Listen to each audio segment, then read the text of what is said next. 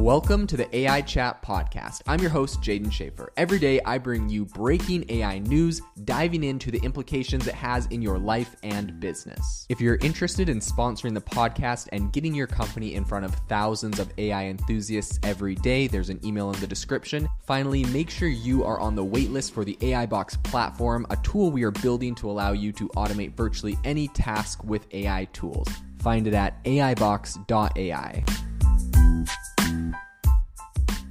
Have you ever wanted to start your own podcast? I record and publish podcasts on a platform called Spotify for Podcasters, and I absolutely love it. Essentially, you can upload from your phone or computer, and it distributes to every platform that plays podcasts. They support video podcasts, and you can make money on the platform with ads or even podcast subscriptions, something that has made my life so much easier as a podcaster. So, if you're interested, I highly recommend you give it a try. You can download the Spotify for Podcast app or go to spotify.com slash podcasters to get started on your podcast today. A really interesting report just came out about the US military's use of AI to predict what their enemies are going to do. So, on today's podcast, we'll be talking about some military applications for AI, what this new report from the US about the US military says, and also some very interesting reports about the UK using AI to try to disrupt um, Russia's strategic military uh, imports and exports, I believe. So we're going to dive into it without further ado. So I think in reality, the big news here is that the US Army is turning to AI to really kind of forecast enemy movement. So they are revealing a very ambitious project known as real time threat forecasting. This thing sounds straight out of a sci fi movie. You know, you've seen those movies where essentially they predict who's going to commit a crime and then you get captured before you even commit the crime because they predicted that you were going to do it. It feels very, very similar to this, except, um, right, obviously it's a military predicting what threats are going to happen ahead of time, which is a, a very useful um, tool in theory. In practice, man, it just startles me to be to think like, you know, we would shoot a missile at someone because we know they're about to shoot a missile at us or something like that. I don't know if that's the how does it actually get applied, but you know, that's the worry that I would have and I'm sure other people would have. In any case, well, the reason I would be a worry is just in case the other person didn't actually or wasn't actually gonna shoot that missile and then you shoot it for nothing you're the one that's the aggressor starting the the skirmish that accelerates something or perhaps two AIs predict that the other AI because right we're we're using the AI right now to predict but maybe we have an adversary in China or in Russia or in some other country, and their AI predicts we're going to attack them, and our AI predicts that we're going to attack them, and then all of a sudden the AIs are fighting, and yeah, just sounds like a dystopian future, but whatever. In any case, when we when let's get back to the innovative part of it, I think the innovation seems to uh, really it, like essentially the system aims to rapidly process a mountain of data that is beyond human capacity to really predict and then um, conventionally revise enemy activities. So I think in line with this, a recent request for information, which is uh, RFI, has been issued, um, and it is encouraging industry collaboration. So I think the future forward system will likely be rooted in AI and needs to be functional on everyday laptops. So using um, evolving AI or machine learning technology. Beyond this initiative, I think there is a concern that human intelligence analysts might be overwhelmed by the increasingly intricate landscape of warfare. And based off of what the military is currently saying, they really visualize the future battleground um, as a whole bunch of robots, autonomous systems, AI enabled um, deceptions, soldier machine teams, and self organized intelligence networks. So, reflecting on the 2020 Nagorno Karabakh War, where Armenia's traditional tanks, I also know and apologize for butchering the, the uh, pronunciation of that. But um, essentially, Armenia's traditional tanks were completely decimated by Azerbaijan's advanced drones. Um, and the ever evolving drone warfare that we see in Ukraine, I think, based off of all of that, I think it's really clear that the military has to adopt um, and adapt very, con- very quickly. They have to adopt AI and they have to adapt quickly. Now, of course, I've already mentioned, you know, the fact that I think a lot of this is quite dystopian, but regardless, um, I think it's going to happen. So the U.S. military intelligence, I think, can no longer really bank on an enemy following a consistent modus operandi.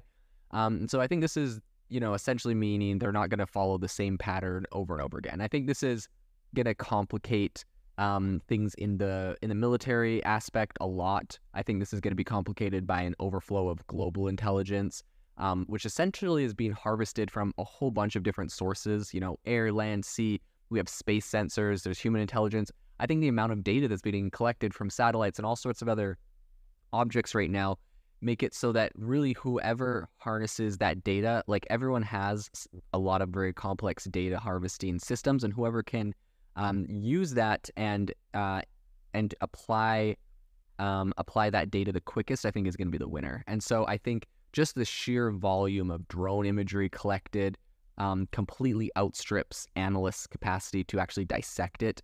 Um, and I think this really points to an increasing reliance on AI. I've, I've personally spoken to um, friends that have previously been in the military, that have worked with AI in the military, um, ones that have worked with drones, and it was interesting, you know, just talking to people about the about the impact of drones alone on the military and um, you know what a game changer that was not having to call in a helicopter or not having to call in um, you know a spy aircraft to go fly over an object but being able to just fly a drone and get like really high definition imagery of where snipers or other people are i think it makes a big impact.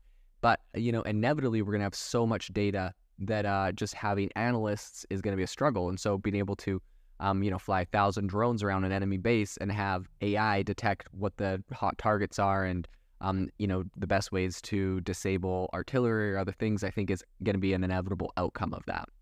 So I think um, what's interesting is video game tech could actually be pretty instrumental in this whole AI centric approach.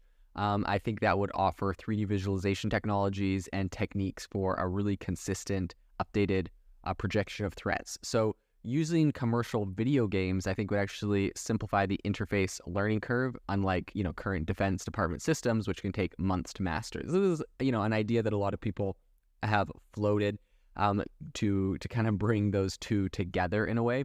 But at the same time, the idea of you know substituting human officers with AI, I don't think you know isn't without its challenges. I think some of the roles might be offloaded to machines that the military might do and that officers might do but I think that there are stumbling blocks um, that the military uh, intelligence staff may lack, you know, comprehensive data access for AI to operate, you know, optimally. And I think that was actually revealed um, by a 2021 RUSI report. So, meanwhile, across the pond, as it were, um, Britain's MI6 spy agency has begun utilizing AI to disrupt critical weapon supply chains to Russia. This is another really interesting use case of AI that has come out. It's in the headlines recently.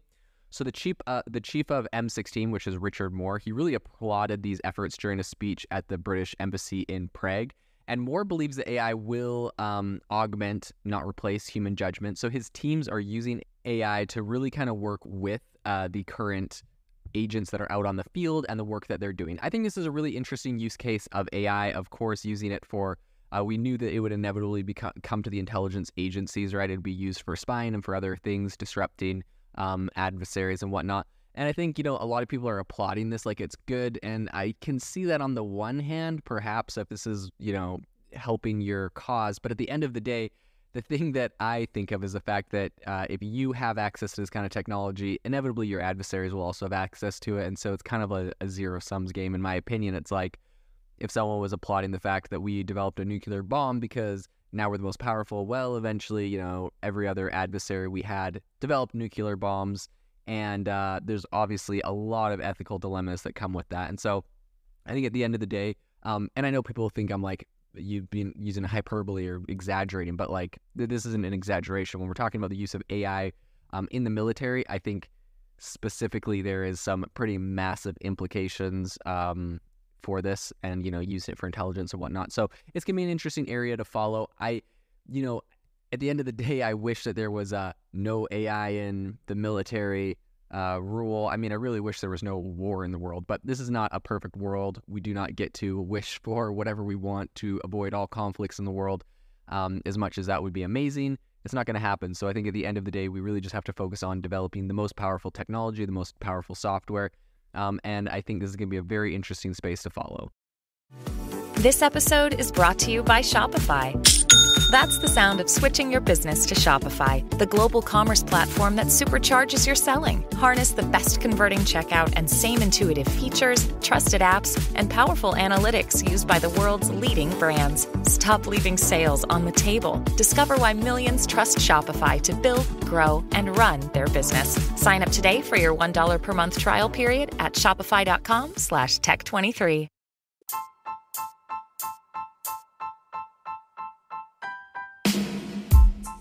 Thank you for listening to the AI Chat podcast. If you enjoyed this podcast, I'd appreciate it if you rate us wherever you listen to your podcast. And if you're looking for a innovative group of AI enthusiasts, make sure to check out our Discord channel and Facebook community. It's obviously a lot more interactive than a podcast where we can share software, tools, and prompts we're using in AI every day. I'll leave a link for those in the description below.